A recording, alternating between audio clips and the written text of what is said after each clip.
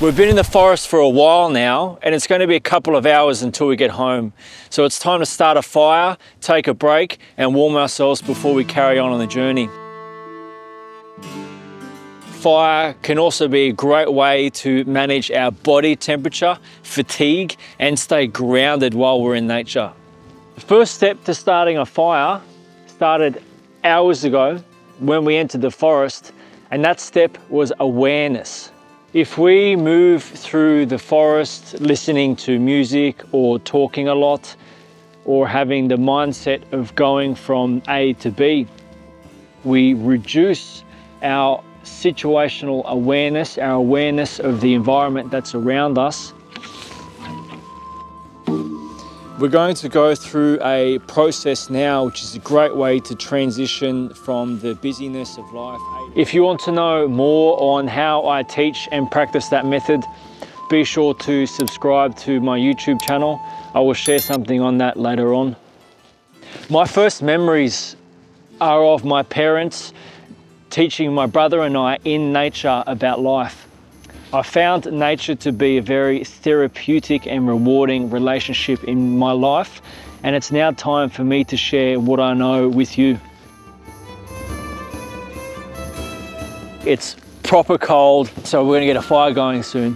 The mindset that I adopt which allows me to start a fire in these conditions. It's been blizzarding most of the morning. It's going to be wet on the ground.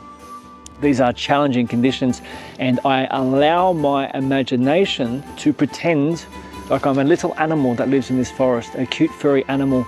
And then where would that animal live? Where would it go? Where would it create its nest? And what would it create its nest with? And then, so when my imagination goes with that, it takes me, I think I would huddle up under here sometimes in a storm and I would take shelter because there's no snow here. So compared to higher up in the tree, these branches have less snow on them and if it's raining it's the same consideration there's going to be less moisture here and on these pine trees as well and, and most other species of pine that you'll find is that the tree uh, the branches at the bottom are going to be dead uh, or that's where the dead branches will be. And so this is a really good resource to get a fire going but I also need to not just break off any branch. I look at it first to check that it's dead and then I feel it. Because I don't want to damage a tree unnecessarily. I feel if it's broken and then I'll hear it as well. So it's a very clean break. So it's very broken and I can assume here that these are all dry and dead. I don't want to take all of the dead branches from this one tree, but I'll take a few. Something like this is worth its weight in, in gold. This tree is alive, you can see with the rest of the branches. Nature has broken this tree off and it's dead, and the oils in this leaf are going to be very flammable and very useful today. So you see just on this tree here, a branch has been broken off and that's a wound in the tree. In the tree's natural defense against fungi is going to be its sap. And so it puts that out there to protect the tree to close the wound, basically the same way that we bleed and our blood coagulates and we get a scab.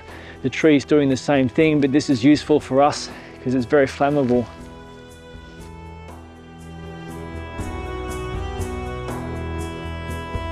When I'm pulling this down, I always look away because the stick gets under a lot of tension and splinters can come out. And it's got me in the eye once before when I was in the middle of bush. That was terrible.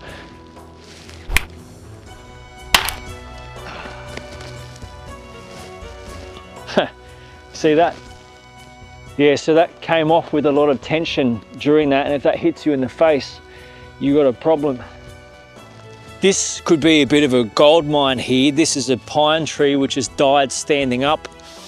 And what can happen with the pine trees is as they're dying, they withdraw their sap, which is their, their life blood down to the, the roots, the bottom of the tree. So if we have a look at the bottom, we might find that there is some sap rich wood down there, which can be really beneficial for the early stages of a fire. But even if there's not that sap there, it's still pretty good.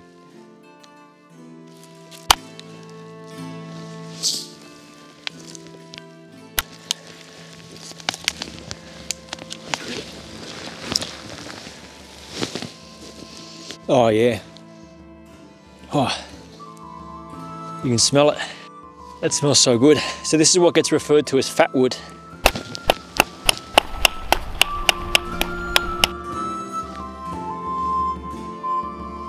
There's still a bit of moisture in there because it's been in the moisture laden soil, but um, we could be in luck. We'll see how we go. This is a birch tree. It's a classic tree in Northern Europe that's very good at the fire starting stage. There's different species. The one we have here is uh, very easy to peel the bark off, but a good rule of thumb when you peel the bark off is the bark is the skin of the tree. So you don't want to take off so much skin that it gets deep and the tree becomes naked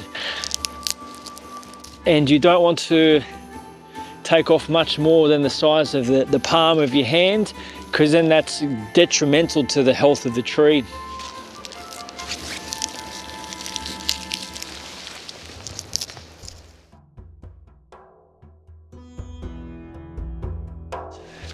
Green here is called trollskjegg and that's the troll's beard or moustache. I don't remember exactly which one, um, but the troll's facial hair. We'll roll with beard.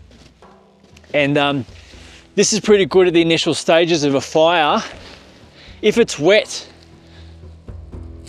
what you can do is you can dry it off with your body heat. So if you have a big, hairy, manly chest, just like me, you can put it under your shirt and the heat from your big hairy manly chest will dry it out and then when it's time to start a fire this will um, catch a flame a lot better. So the grass behind me on the beach is also potentially another very good option for the initial stages of the fire. I took off my skis and this is how deep I sunk into the snow so I'm not actually going to gather the grass. I have enough faith that the resources in the forest is going to be sufficient for what we need but there's a very, very good option there. It's a very good fire starter. And again, if it's a bit moist and damp, chuck it in your pocket so your body heat warms it up.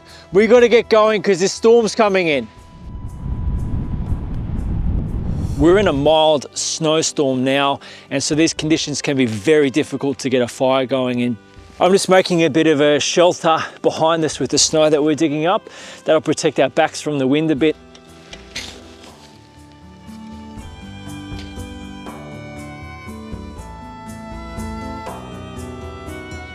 So I want to make a barrier in between the snow and the fire to insulate them from each other. So I'll use these sticks and put them underneath. I want to make the fire as small as possible. And I always consider what I'm prescribing the fire for. What's the purpose? And if I just think about the biggest fire I can get that's going to waste a lot of energy and a lot of time.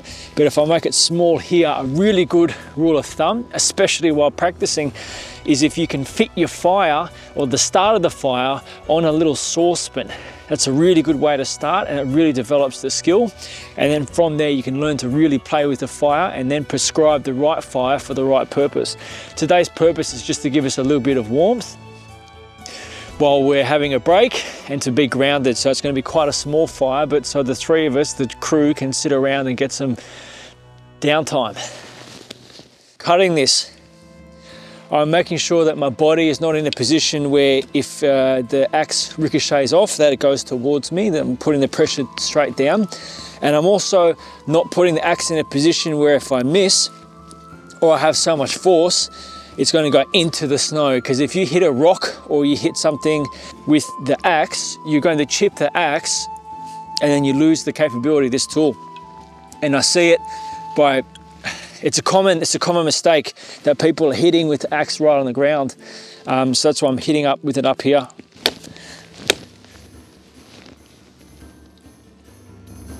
As soon as I'm done with it, I put the cover back on it. Another common mistake is that people will put blades down in the camp around them and all you need to do is carelessly put your hand down and you split your hand open in the middle of the bush. So best practice is to always put every knife either back in its cover or fold it back up.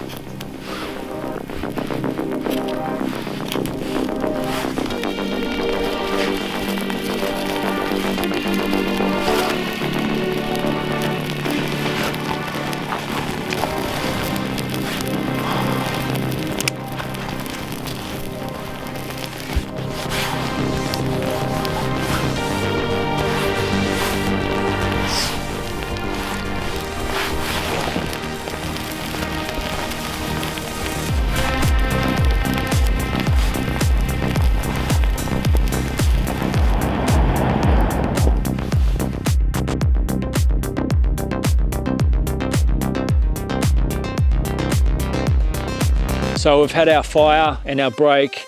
Now it's time to pack up. That's our duty of care. I hope you've enjoyed this episode. If you haven't already, hit subscribe and we'll see you next time.